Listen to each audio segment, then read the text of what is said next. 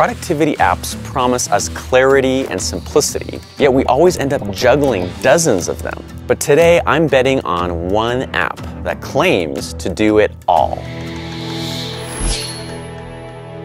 If you're new here, welcome. I'm Tiago Forte. My mission is to help you organize your digital life. Today is about one simple question. Can one app really handle every single part of your workday? Using our official Second Brain Notion templates, Notion Calendar, and Notion Mail. My goal is to simplify everything down to one tool to see if it truly improves my productivity.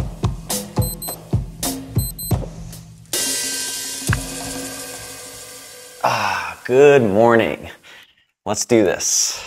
What you're seeing on the screen is our official Second Brain Notion template. The first thing I want to point out is a little quote. The system you use to manage information must be so effortless that it liberates your focus rather than constraining it. Your system must provide you with time, not consume it. A tool like Notion is very powerful, but it also has such a specific pitfall, which is you can spend too much time over optimizing. And so everything I'm going to show you is kind of a minimalistic approach. It's the minimum that I think you should do to get value from your second brain without kind of over investing your time and effort. So the first thing you'll see at the very top of the page here is a section called Daily Pages. This is a dedicated Notion page for today. It's almost like an inbox for today for any notes, ideas, brainstorms, just random things that come up. So I'm going to go ahead and open that page. I like to retitle this to today, which is Tuesday.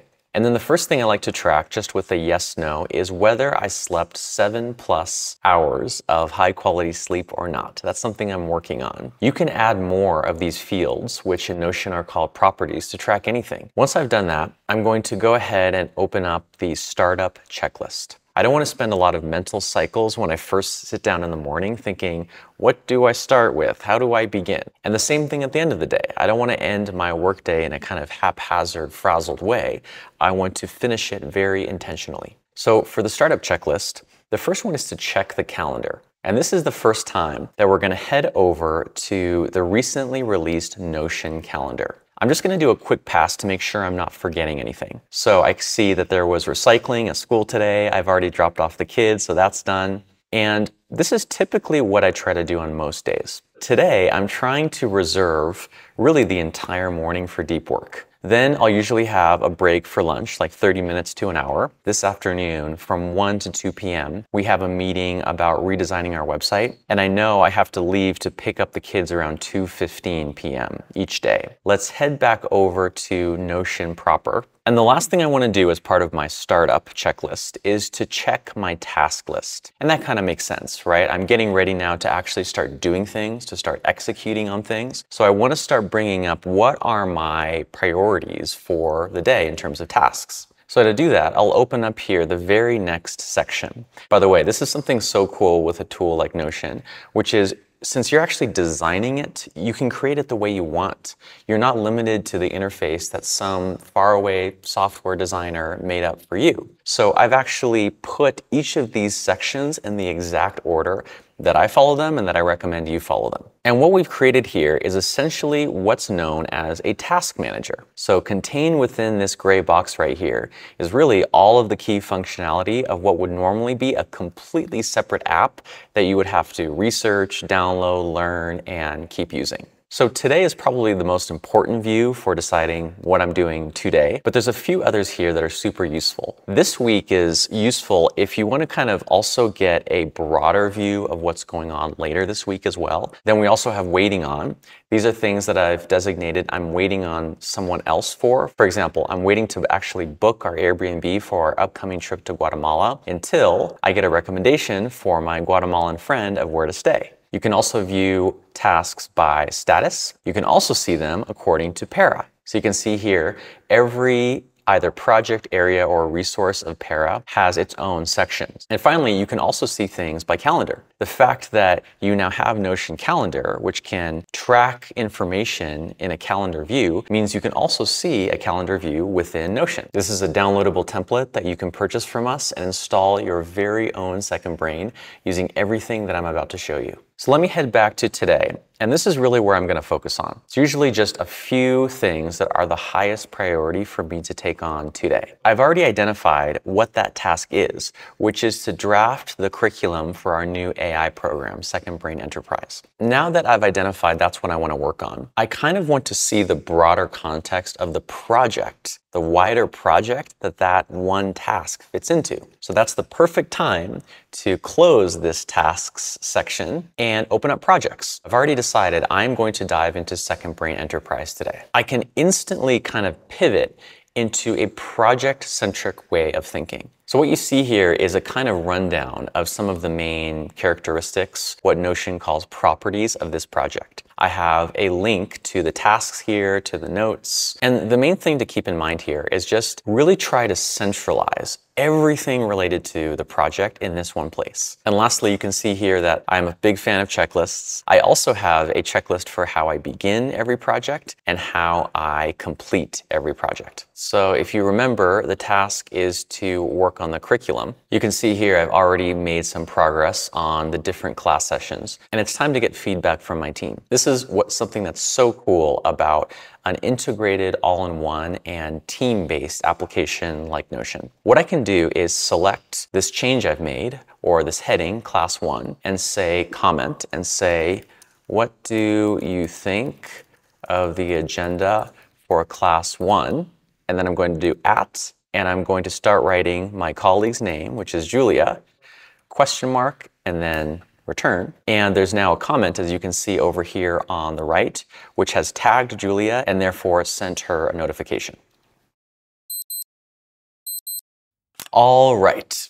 So now it's the end of the morning. I feel really good that I spent most of the morning in deep work. I did get a little bit distracted by a couple instant messages, but now is really time to check in with what my team needs, external collaborators, things that I'm waiting on from people outside my company, and that all means email. And Notion actually recently launched Notion Mail, its very first email client. And let me show you some of the main features that I'm getting the most value from. The first one is auto labels, which you can access by clicking on this button. And what this does is it allows you to automatically categorize certain kinds of emails. Simply describe, using natural language, which the AI can understand, the kinds of emails you're looking for. So I'm going to say any emails related to Second Brain Enterprise. And just to be sure that none slip through the cracks, I'm going to say AI or that are from my collaborators on this project, which are Hayden Miyamoto or Julia Saxena. And you can see here, there's two options. You can keep those emails, the emails that fit those criteria right where they are in the inbox and simply add a label, or you can split them. This is a feature called split inboxes. Let me show you what that looks like. You can see here the AI is working in the background to find all the relevant emails, and now it's creating the label. And there you go. You can see there are four existing email threads that it has identified with this check mark are definitely in this category. And then there's a couple that it's not sure about. Actually, all of its decisions are already correct, whether it, it is or isn't part of this category. So I'm going to go ahead and click Save. And there you go. You can actually see that there's the normal standard inbox up here, but now we've created a new one called Second Brain. I'm actually going to retitle it Second Brain Enterprise because I have a lot of different Second Brain related projects. And now any emails that come in related to this top priority of mine will appear right here. The next feature I'd like to show you is a really powerful one called scheduling. So let's say you have an email thread such as this one about an upcoming launch of one of our products in Asia that you realize it's time for a meeting. Okay, you can see there's been many, many, many, many back and forth messages. Let's just have a meeting and hash this out. The more people are on the message thread, the harder it is to find a meeting time that fits everyone's schedules. So I'm gonna make this easier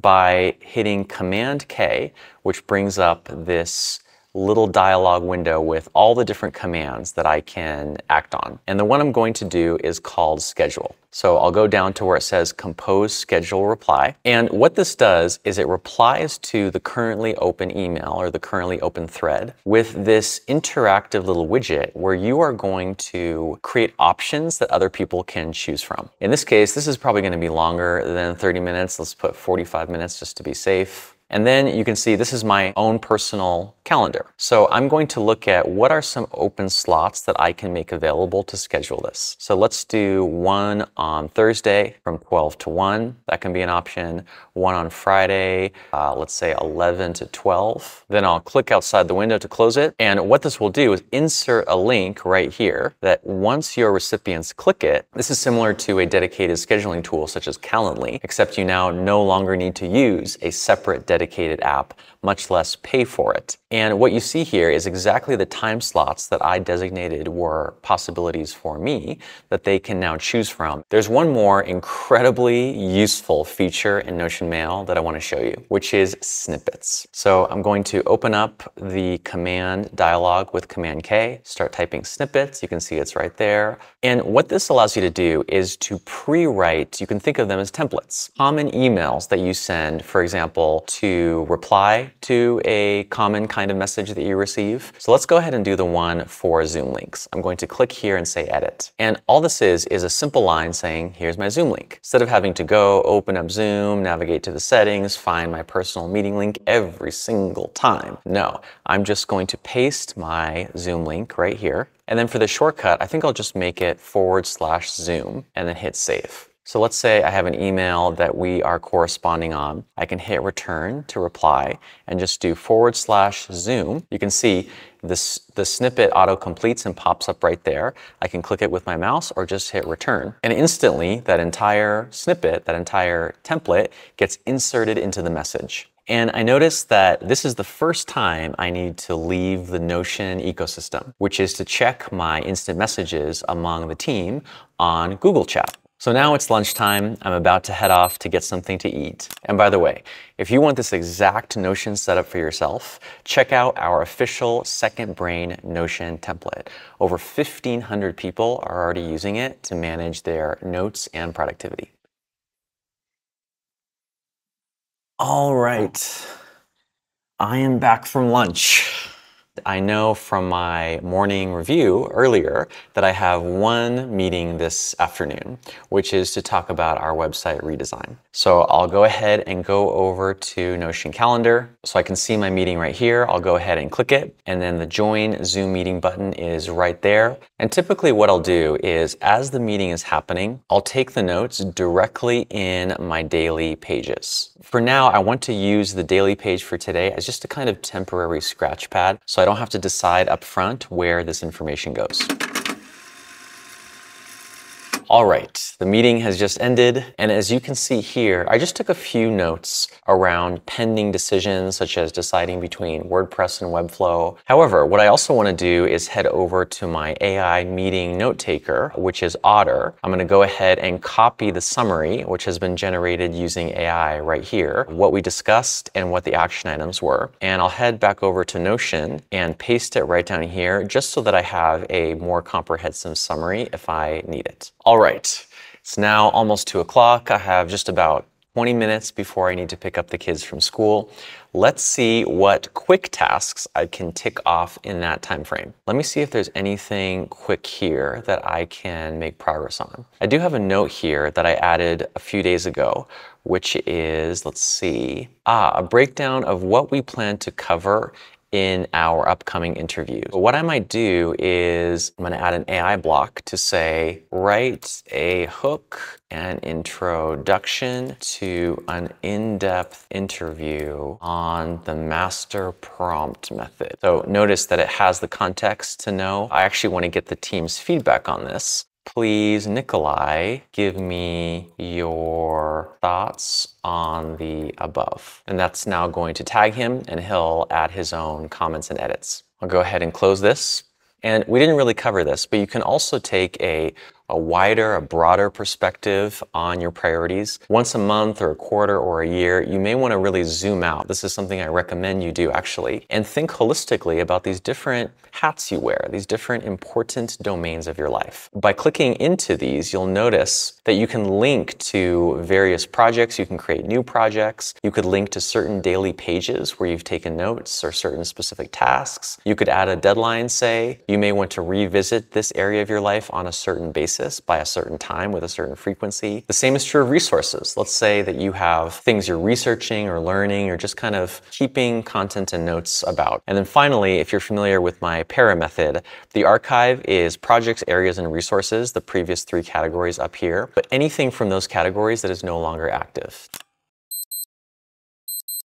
After the kids have gone to bed, I want to end the day intentionally. So I'm going through my shutdown checklist in my daily page. I want to capture a quick win from the day to appreciate what I got done. Next, I'll take a look at my calendar for tomorrow and for the rest of the week. Is there anything I need to move or take action on? Next, I'll check my notes inbox and process any notes that I've saved throughout the day. That means I'll assign notes to a project, area, or resource to get them out of the inbox. Finally, I'll clear my task inbox and assign due on dates or deadlines to any tasks, and then relate them to either a project or an area. Now I can relax. So, did I manage to spend my entire workday inside Notion? Mostly. I was surprised how much I could get done within Notion. I barely touched any other app today, except for Google Chat and my browser. I feel like this actually helped me stay more focused. I wasn't jumping between tabs or apps or wondering where to put things. I just opened Notion and it worked. I can see the need for other apps sometimes, especially for example, Google Docs or Google Sheets. But you can also easily link those from within Notion. If you want to use this exact setup, you can get the Second Brain Notion template using the link in the description. It includes everything you saw in this video the PARA method structure, daily pages with built-in checklists, a quick capture inbox, and a flexible system for tracking projects, tasks, notes, and habits. And even more that I didn't even get to cover. You'll also get access to step-by-step -step walkthrough videos that show you how to set it up, how to customize it, how to make it your own. It doesn't matter if you're brand new to Notion or you're already deep in it. This template that we've created can help you build a second brain that actually supports you in your day-to-day -day work and life. I invite you to try it out.